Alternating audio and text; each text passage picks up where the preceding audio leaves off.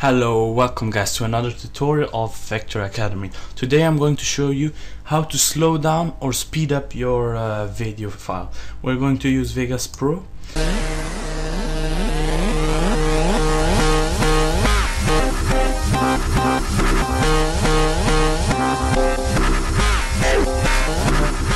small clip, you can get it on my channel if you want.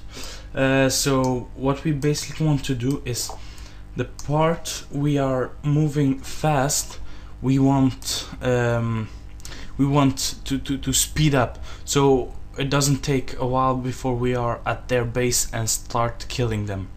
So we go back and we want until here we want to be speed speed up. So we press S to cut. So remember if you want a particular part uh, to speed up or slow down you have to make it apart to stand apart from the others. So we've cut it and you see here it's a uh, single layer. It's a uh, layer that's it's apart from the others. Uh, so in Sony Vegas it's really simple to speed up something or even to slow down. So we press control and you'll see a small uh, underline under the cross uh, under the uh, mouse. So we drag it. If we drag it at the left we want to speed it up. And you will hit a certain limitation and that's the fastest fastest it can be. So if we play it now we can see how fast it is. So we want a little bit slower.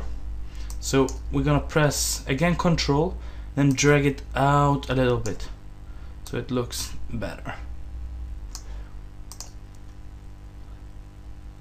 then video is going to start. Yeah.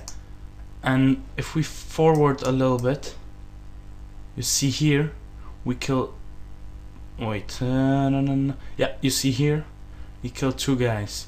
So we want to slow this part down. And if you want to move with frames you can just click your arrows and you'll move one frame forward or backward. So uh, and here we see them. So here we want to start. So we press S again to cut it.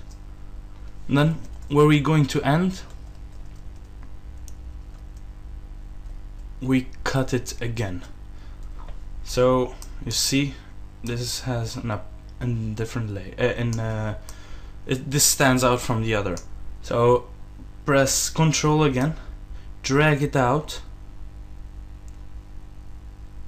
And you'll see it will be much slower. See and bum bum bum bum bum. Bum bum bum bum bum. And that's the end. Oh we want a little bit faster. Oh no oof, the wrong. A little bit faster so looks better. Now remember if you slow down something and um, it has low frames it's gonna look weird. So if you wanna if you really want a good nice slow motion effect you will need to capture something at more than 60, 60 frames per second. Uh, if you get that and slow it down you'll get a nice cool effect.